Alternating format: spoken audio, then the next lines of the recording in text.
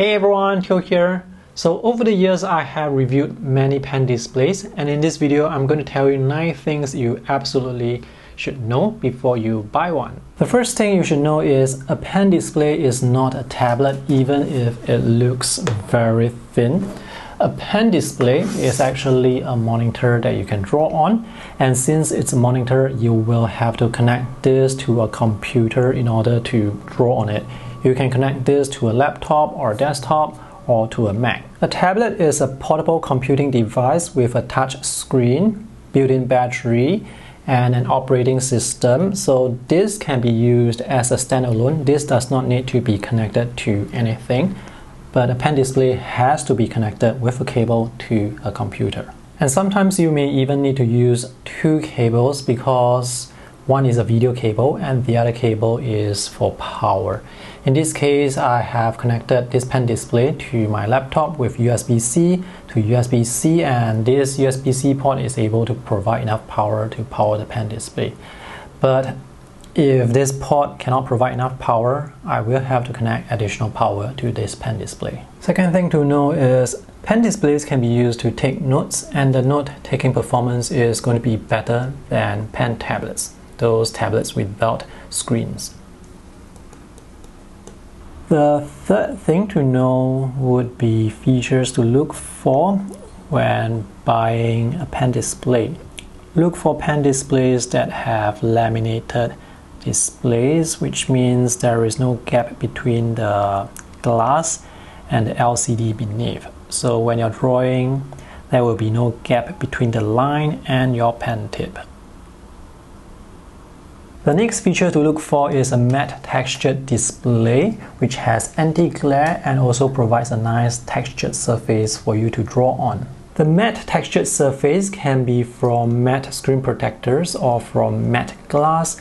Matte screen protectors may develop scratches with time with usage but matte screen protectors can be replaced but the replacement is not easy because you will have to prevent air bubbles from forming when you're applying a new one over your pen display.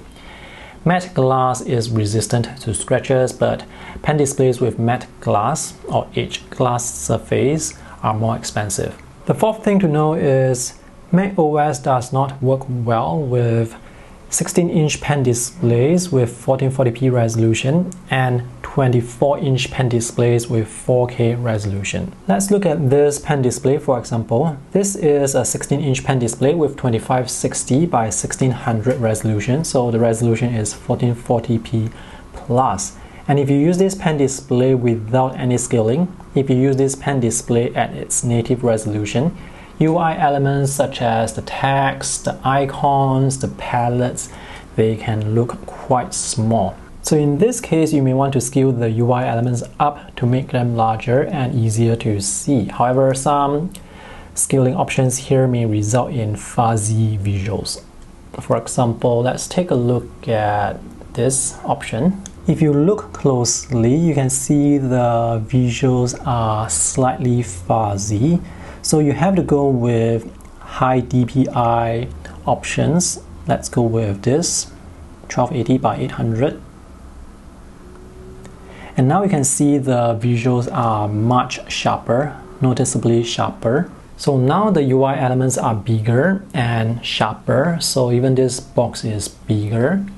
The icons, the text, the palettes by the side are all bigger and the canvas space is reduced in size to have everything look bigger.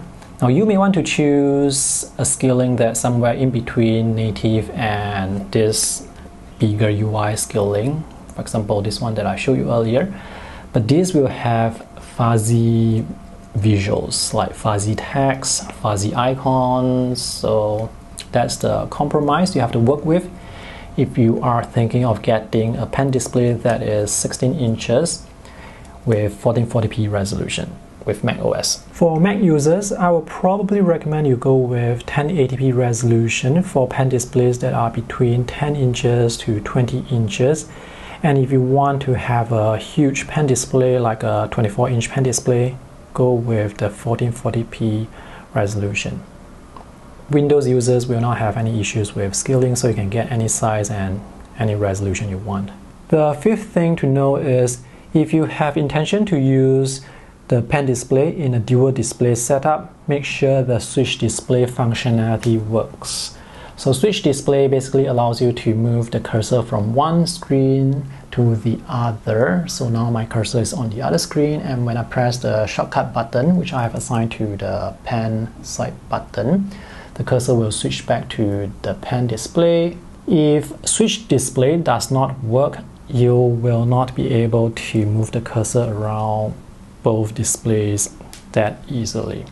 So before you buy any pen displays, make sure to do some research to see whether or not switch display will work. And for all my reviews of pen displays, I will always test for switch display. The next thing to know is not all pen displays will come with a stand and USB-C cable even if the pen display supports USB-C to USB-C connection. So pen displays usually will come with the HDMI and USB-A cable, but the USB-C cable may be optional. So if your pen display does not come with a stand, you have to buy your own stand because otherwise you will have to draw with the pen display like this on the table and it's not very comfortable for drawing for long periods of time. So if you need to buy a stand, the one that I recommend is the Parblo PR100 which is adjustable at many different angles. This is a good one that you can also use with a laptop. And if you want to buy a USB-C cable, make sure the USB-C cable can transmit video and take a look at the USB-C port on the pen display. If the port is flushed on the surface like this, you can get any USB-C video cable. If the port is actually recessed inside into the pen display, you will have to get a USB-C cable with a very small connector here so that it can fit inside that recessed area.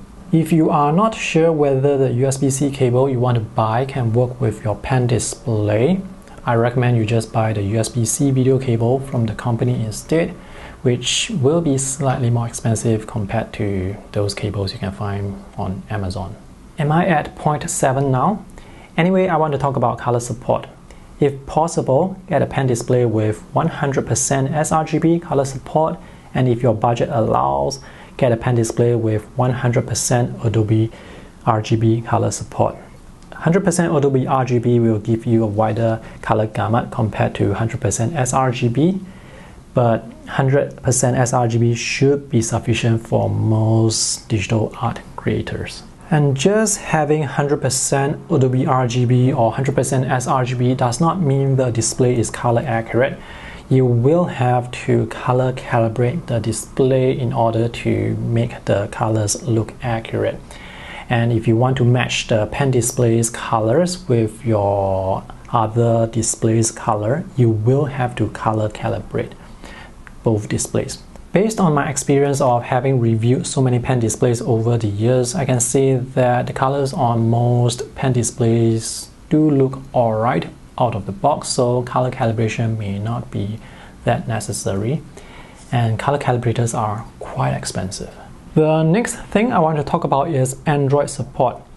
If you have intention to use your pen display with an Android device like an Android phone or tablet, make sure the Android device can output video signal.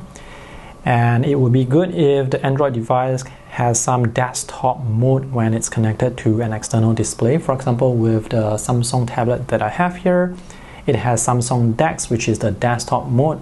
So this is able to give you a desktop-like user interface.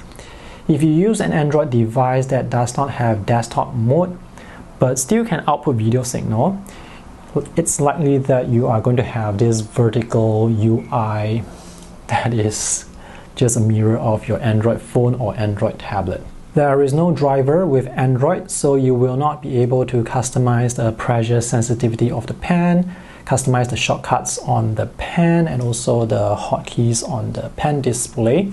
There is no touch screen, so when you are drawing, or when you're using apps that require touch gestures, you will not be able to zoom in and out, pan and rotate, and it's quite inconvenient to use those apps that are designed for finger gestures without a touch screen. And in this case, if I am actually drawing, and if I have to go back to the desktop, I will have to swipe up from the bottom so that I can get back to the desktop. If you really want to draw with Android apps on a pen display, I would recommend you use Clip Studio Paint because Clip Studio Paint supports keyboard shortcuts so you can use your keyboard for shortcuts and use your pen to draw. But if you use other apps that are designed for finger gestures, uh, I would say it's quite inconvenient to use those apps to the point of frustration. Alright, the last thing you should know about pen displays before you buy them is to do more research online, check out more reviews online. I have reviewed many pen tablets and pen displays over the years on my blog and also on this YouTube channel. For my text reviews, I usually have a list of pros and cons. So if you want to compare different products, you can compare the list of pros and cons very easily and very quickly. You can find my text and video reviews using the links in the video description below.